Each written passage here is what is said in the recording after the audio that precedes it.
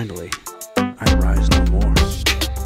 My curled, dry husk gathering dust. The others, pretty tiny corpses of the windowsill.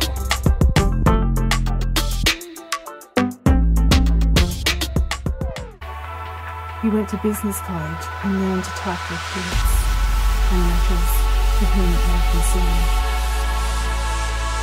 You were young and the world seemed boundless, but it taught you to conform.